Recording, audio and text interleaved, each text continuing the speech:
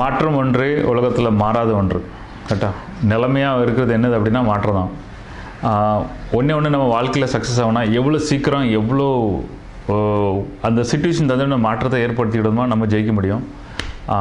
இல்லை நான் முதல்ல இருந்தே அப்படி தான் என்னால் இதை மாற்ற முடியல அப்படின்னா நம்ம அழிஞ்சிருவோம்.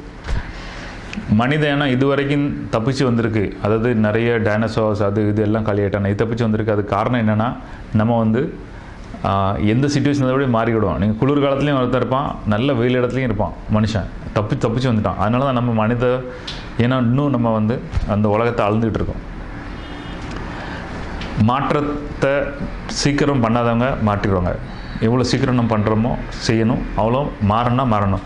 இன்னொரு பத்து வருஷத்தில் ஐம்பது பர்சன்ட் ஆஃப் வேலை இப்போ நம்ம பண்ணிகிட்ருக்கோம்ல இருக்கோம்ல அந்த வேலைலாம் இல்லாமல் போயிடும் கல்ஃப் கண்ட்ரீஸு அவங்கெல்லாம் பேங்க்ரப்சி ஆயிடுவாங்க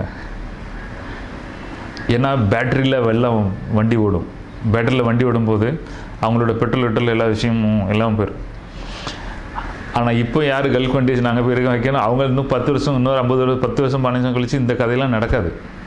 உலகம் அவ்வளோ ரேப்பிடாக மாறிட்டு இருக்கு. தன்னை தன்னைத்தானே டெவலப் ஆகி எப்படி முன்னாடிலாம் பார்த்துட்டு இருக்காங்க. நம்ம வாழ்க்கையிலையும் இப்போ உள்ள சூழ்நிலையில் நம்ம என்ன பண்ணணும்? எது பண்ணணும்? அடுத்தல என்ன படிக்கணும்? எனக்கு தெரிஞ்ச ஒருத்தர் வந்து எம்எஸ்சி எட்டு இந்த கம்ப்யூட்டர் எக்ஸல் இதெல்லாம் படிக்கலாமான்னா சரி ஓகே அப்படின்னு அதை கேட்கல. அவங்க புத்திசாலித்தனமாக போயிட்டு டைப் ரைட்டிங் படிச்சுட்ருக்காங்க ஏன் ஸ்கூல் காலேஜ் டேத்தில் டைப் ரைட்டிங் படித்தாங்க இப்போ போய் ஒரு சிலர் டைப் ரைட்டிங் படிச்சுட்டாங்கன்னா கம்ப்யூட்டரில் யூஸ் பண்ணது கேட்டாருங்களா எல்லோரும் முன்னாடி நோக்கி இன்னும் பத்து வருஷம் போயிட்டுருக்காங்க இவங்க பின்னாடி ஒரு பதினஞ்சு இருபது வருஷம் முன்னாடி போயிட்டு டைப்பிங் படிக்க ஆரம்பிச்சிருக்காங்க ரைட்டா ஸோ இப்போ அடுத்த அட்வான்ஸ் என்ன? அடுத்த விஷயம் என்ன? ஃபோட்டோஷாப்பு அது இதுன்னு எல்லாமே இந்த இந்த அடோபிரேட்டர் அது இதுன்னு கேமரா எடிட்டிங் எல்லாம் படித்து ரெடியாக அதுக்கு பல லட்சங்கள் கொடுத்து படித்து வந்திருப்பாங்க. அந்த சாஃப்ட்வேர் போய்ட்டு மொபைலில் போய் நாலு அமுக்க அமுக்குனா அவங்களுக்கு வீடியோ எடிட்டிங் ஸ்டேட் ஆகிட்டு அவ்வளோத்தையும் ஜீரோ ஆக்கி விட்டாங்க. இந்த மாதிரி காலம் எவ்வளோ வேகமாக மாறிக்கிட்டு இருக்கும் அஞ்சு வருஷத்தில் வந்து முதல்ல இருபது வருஷத்தில் மாறினதெல்லாம் இப்போ அஞ்சு வருஷத்தில் மாறிடுது. இன்னும் அடுத்த அஞ்சு வருஷத்தில் பாருங்கள் அந்த வாழ்க்கை நம்ம காலம் எல்லாம் கபில்ட்டாக மாறி போயிருக்கும். மாறத்துக்கு ரெடியாக இருங்க. ஃபார் எக்ஸாம்பிள் நீங்கள் எடுத்திங்கன்னா ஹெச்எம்டி வாட்ச் ஓகே அதெல்லாம் இப்போ எங்கே போச்சுன்னு தெரில பஜாஜ் ஸ்கூட்டர் பஜாஜ் ஸ்கூட்டருக்காரங்க இப்போ பஜாஜ் பண்ணுறதே பயந்துட்டாங்க. காலம் மாறி திரும்ப ஸ்கூட்டருக்கு வந்துட்டு. ஆனால் அவங்க இன்னும் அந்த அந்த அடிச்சு அடி இருக்குல்ல அது அவங்க வெளியே வரல. இப்போ அவங்களுக்கு தைரியமே கிடையாது ஸ்கூட்டர்லாம் பண்ணுறது அந்த மாதிரி. ஏன்னா காலத்தோட கட்டாயம் அவங்க மாறலை. இனி வருவான காலத்தில் ஸ்கூட்டர் ரொம்ப பயங்கரமாக ஸ்கூட்டர்னால் அந்த ஆக்டிவா மாதிரி. அதுதான் உலகத்தை ஆளும். எண்பது பர்சன்ட் அது வரும் இருபது பர்சன்ட் பைக்காக மாறிடும். நான் இருக்கும்போது படித்தேன் இந்த வருங்காலத்தில் பைக் நிறையாவும் அப்படின்னு. அப்போல்லாம் கைனட்டிக்கு ஸ்கூட்ரு ஹமாரா பஜாஜ் அப்படின்லாம் ஓடிட்டு இருக்கோம் தெரியுமா? அது அந்த காலத்தில்.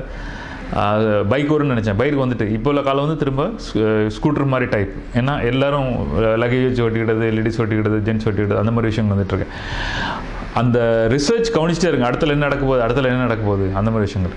இப்போ நீங்கள் Dyanora TV Murphy Nokia mobile ராஜ்தூத்லாம் கேள்விப்பட்டிருப்பீங்க.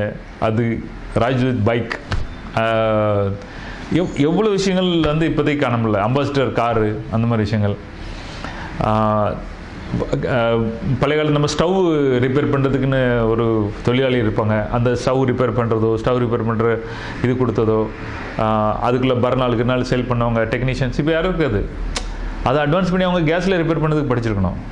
உடனே இது பண்ணலை அப்படின்னா நம்ம காணாமல் போயிடும் ஸோ மாற்றம் ஒன்றே மாறாத ஒன்று அதை எவ்வளோ சீக்கிரத்தில் நம்ம லைஃப்பில் இந்த விஷயத்தை எப்பவும் நினச்சிக்கோங்க. எங்கேயாவது ஒரு மாற்றமாக ஓகே நான் ரெடி வரேன் அப்படின்னு சொல்லிட்டு இறங்கணும். ஒரு புது விஷயம் படிக்கிறதுக்கோ எப்போவுமே படிக்கிறதுல இருங்க. ஆ எனக்கு தெரியும் எனக்கெல்லாம் தெரியும்னா கதை முடிஞ்சு போச்சு. அதோட தூக்கி புதைச்சிட வேண்டியதான் அதுக்காக நம்ம வந்து உருப்பிட முடியாது. ஸோ படிக்கிறதும் சரி புது விஷயம் லேர்னிங் பண்ணது நம்மளோட மாற்றங்கள் எவ்வளோ லைஃப்பில் கொண்டு வர முடியுமோ பண்ணுங்கள் தேங்க்யூ